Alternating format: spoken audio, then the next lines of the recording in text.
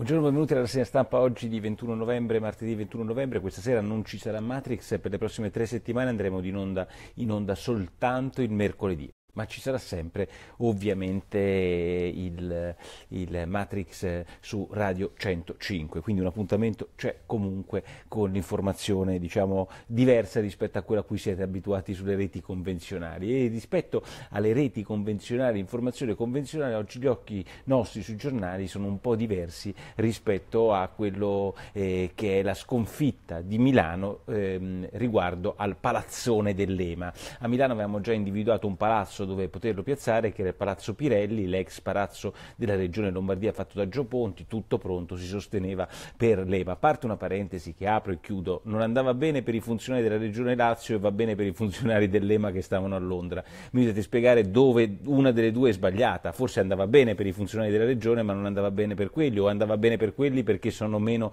eh, attenti alle eh, condizioni di lavoro di, eh, dei, dei, dei dipendenti della regione Lazio o erano troppi i dipendenti dipendenti della Regione Lazio, chi se ne frega. La cosa sostanziale è che c'è una specie di pianto collettivo perché l'Italia non si aggiudica ehm, l'autority per il farmaco. Il pianto è condivisibile perché la Lombardia, non Milano, la Lombardia è uno dei distretti del farmaco più importanti del, di Europa e, ehm, e quindi, eh, non so, ma il tassista ieri sera per andare a un convegno ha detto come finirà l'EMA, come se eh, è una specie di partita di calcio, ah, la prima siamo andati 25 a 13, Bratislava è fuori, fuori, siamo diventati dei grandi esperti in geopolitica, esattamente con lo stesso criterio con cui siamo dei grandi allenatori del, della nazionale. E su questo è, è, la premessa. Abbiamo perso al terzo scrutinio dopo che i primi due li avevamo vinti rispetto ai concorrenti, beh, però vi voglio fare anche presente che su, 17, su 27 paesi facenti parte dell'Unione Europea, 16 paesi erano candidati, anche perché la struttura di questa burocrazia, questo è un altro dei ragionamenti che si dovrebbe fare, questa burocrazia porta al lavoro. Ormai il lavoro non è portato dalle industrie, ma è portato dalle burocrazie, vale 2 miliardi di euro eh, i funzionari dell'EMA che sono pagati da noi, perché poi alla alla fine di tutto quanto noi abbiamo fatto una battaglia per avere una Camera, non un Parlamento, una Camera in Italia, posto che una Camera eh, non si nega a nessuno, a Roma c'è la FAO, eh, che è, una, è una, è un'organizzazione dell'ONU, insomma Intanto, prima considerazione che nessuno fa è che eh, noi volevamo più burocrati perché i burocrati portano soldi, portano ristoranti, portano scuole per i figli, portano stipendi pagati dai contribuenti europei, quindi volevamo avere questi burocrati perché ci avrebbero portato soldi. Abbiamo perso, abbiamo perso perché al terzo turno, siccome eravamo arrivati alla pari con Amsterdam, eh, si è gettata una monetina e si è scelto tra Amsterdam e l'Italia, tra Amsterdam e Milano, quale delle due fosse la più... Eh, ehm, eh, fortunata e ha vinto ovviamente Amsterdam. Sempre con la monetina è stata attribuita ieri un'altra grande eh, authority, molto più importante dell'EMA, cioè del farmaco, e quella è l'autority finanziaria eh, che si chiama EBA, peraltro era eh, diretta da un italiano che invece di andare a Francoforte come tutti si aspettavano è andata a Parigi. A favore dell'Italia non avrebbe votato la Spagna, questo è un altro degli retroscena di oggi, ma invece Rajoy avrebbe preferito Amsterdam rispetto a Milano, invece la Francia avrebbe avrebbe votato per noi, pare anche la Svezia avrebbe votato per noi.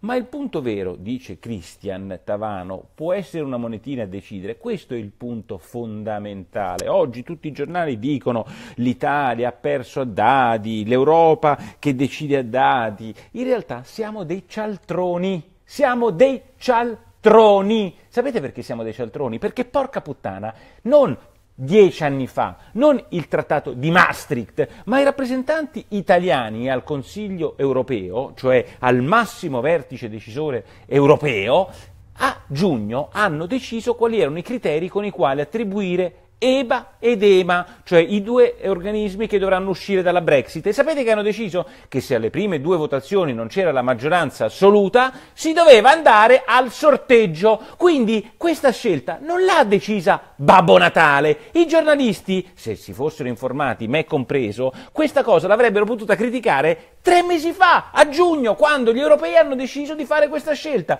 Nel 1968 l'Italia vinse gli europei con la monetina, caro Calderoli monetina, bom, monetina, abbiamo vinto i, i campionati di calcio europei e poi non è stato fatto più così, perché la monetina è stata sostituita probabilmente dai rigori. Allora vi chiedo, vi chiedo, cari amici eh, che mi ascoltate sulla zuppa di porro, quando oggi vedete i politici che dicono eh, il sorteggio, la monetina, eccetera, ma dove erano, scusatemi, tre mesi fa? I giornalisti che oggi si indignano, tre mesi fa, a giugno, quando fu stabilito il regolamento, dove erano? Lo sapevamo che era con la monetina, era una cosa che era scritta, ci possiamo lamentare di tutto, ma la monetina la monetina già la conoscevamo, era già lì, già si sapeva, era già una scelta europea. Certo, non era toccata all'Italia perché si era detto che valeva per tutti. Quando tocca all'Italia ci accorgiamo che la monetina non vale. Seconda considerazione, e oggi Moavero, che si dovrebbe occupare, consigliere Presidente del Consiglio proprio per gli affari europei, dice non abbiamo vinto ma non siamo stati sconfitti.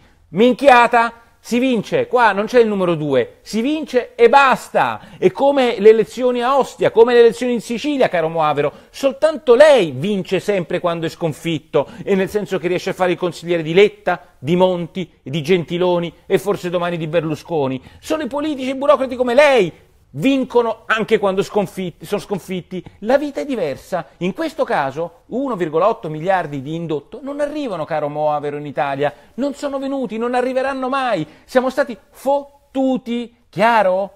Punto. Non c'è nulla da fare. Quindi Moavero, il problema vero è che lei Gozzi, mi spiace che è una brava persona, il sottosegretario di Presidenza del Consiglio, Gentiloni, il ministro degli esteri, capirai, Genti- ehm, Alfano, so, hanno, hanno, contribuito alla sconfitta dell'Italia, perché oggi scrive bene Giannino, sul, ehm, Giannino eh, della Frattina eh, nel fondo del eh, giornale, guardate che noi abbiamo dato per eh, scontato la vittoria dell'Expo, che tutti quanti noi abbiamo, eh, che, tutti, che in gran parte hanno contestato e poi invece è stato il motore del successo di Milano, ma l'Expo Expo la signora Moratti, la signora Moratti si è fatta un mazzo così per vincerlo. Ha invitato la Scala Re, è andata in Africa, ha, ha, ha, preso il suo eretto privato per andare in giro per il mondo per cercare di portare a casa il risultato. La Moratti si è fatta un mazzo così per vincere. Questi qua stavano a casa, stavano a pensare a Moavro, ma voi vedete uh, uh, la determinazione di una donna come la Moratti con la determinazione di un burocrate come Moavero? Eh? Tra i due, secondo voi, voi a chi fidereste la vittoria di una grande competizione internazionale? A una donna come la Moratti o a uno come Moavero? Io la fiderei alla Moratti, tant'è che l'Expo ce lo siamo portati, in tutto il mondo hanno votato Milano, abbiamo rifatto nascere questa città, mentre invece riguardo alla, alla, um, alla, all'EMA ce la siamo persa. La Merkel, eh, dell'unica cosa che è l'altro grande tema di giornata è che la Merkel non ha una maggioranza, lo sapevamo dal 24 settembre, ma che non vuol fare l'accordo con i liberali. Bellissimo come sempre il pezzo di Taino oggi sul Corriere della Sera che dice sono cinque i motivi per quali è stata sconfitta la Merkel, perché questa è la parola giusta. Intanto perché non aveva un piano sui rifugiati, eh, ha detto venite ma non sapeva come gestirli. Secondo il fallimento eh, della politica energetica energetica, la, la, terza è la lobby dell'auto, Dieselgate e compagnia cantante, la quarta è quanto ha sbagliato sulla Brexit e la quinta ha detto sì alla rielezione, alla candidatura, all'obamismo quando Obama ha perso con Trump. Cinque elementi su cui Taino ci fa ragionare. Poi dopo aprite il fatto e leggete Tobias Piller, un giornalista tedesco ospitato dall'Italia, gentilmente eh, ci fa sempre delle lezioncine su come dovrebbe essere Tobias Piller e ci dice, ma vedete da noi in Germania mh, mm, non si fanno le coalizioni solo per conquistare le poltrone come fate, cioè quindi la Germania oggi va alle elezioni non perché superficialmente è una situazione all'italiana, ma perché noi le poltrone non le spartiamo, noi tedeschi non si spartiscono le poltrone, si è visto in tutte le trattative europee quante poltrone cercano di spaltire dove conta, non, in, non a Berlino, ma a Bruxelles e a Francoforte. E poi dice Piller, sempre con quest'area snobistica del giornalista tedesco, del tedesco che pensa di fare il giornalista indipendente, dice ma sapete in Italia si fanno molti annunci in campagna elettorale, mentre in Germania no. Sì, è vero, in Italia si fanno molti aggiunti e non starà qui a difendere la cialtronaggine dei nostri politici, ma mi sembra che riguardo agli annunci, come ci spiega bene oggi Taino, ma anche Giuliano Ferrara sul foglio, sul foglio e, scusatemi, gli annunci riguardo all'immigrazione e, a, e riguardo alla gestione di quel piano immigrazione siriana non mi sembra che sia andata così bene, caro Tobias Spiller che ci fa sempre lezioncine. Dibba, terza notizia del giornale, Di Battista, non mi piace essere chiamato Dibba, mi ha corretto in radio, Dibba non vuole più fare politica, chapeau perché uno che riesce a staccarsi dal mestiere che comunque in 5-6 anni ha fatto è una scelta radicale e difficile per, ogni, per ognuno di noi, che sia politica, che sia giornalismo, che sia agricoltura, se lo fai volontariamente bisogna dare rispetto per chi vuole cambiare vita. Certo, dire che non voglio fare politica perché voglio fare il papà mi fa un po' sorridere perché noi tutti che siamo papà,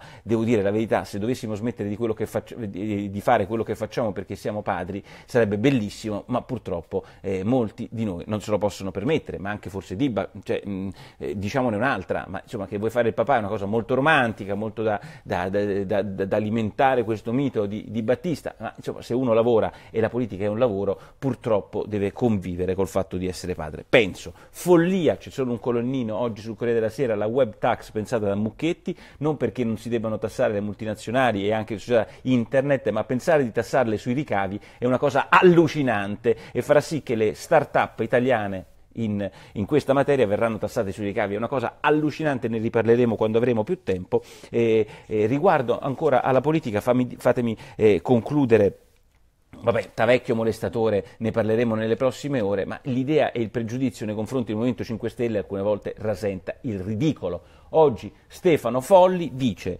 viaggio di Di Maio negli Stati Uniti, un evidente insuccesso. Allora io mi chiedo, a me non stanno simpatici il Movimento 5 Stelle, tutto quello che volete, ma come si fa a dire, con quali criteri, con quali prove, per quale motivo si dà un giudizio così apodittico sul viaggio di Di Maio negli Stati Uniti? Ma io voglio dire, ma perché? Cioè non, non si può accettare, se io fossi un politico, e non lo sono, grazie al cielo, non si può accettare così, eh, no, questi tromboni del giornalismo italiano, Massimo Franco, Stefano Folli, grandissimi maestri che prendono e dicono ah, il viaggio di Di Maio negli Stati Uniti è stato un evidente insuccesso. Ma chi l'ha detto? Evidente perché? Bah. Vabbè, io vi saluto, vi do appuntamento come sempre questa sera alle 19 su Radio 105 per Matrix 105 e vi saluto per questa zuppa di oggi condividetela. Nell'ultimo periodo tantissime visualizzazioni, come sempre 20-25 mila visualizzazioni, ma vedo che il reach di questa rassegna stampa su Facebook per qualche algoritmo sta andando un po' meno bene, quindi diffondetela e, e, e fate un passetto in più rispetto agli, ai, ai giorni scorsi. Ciao!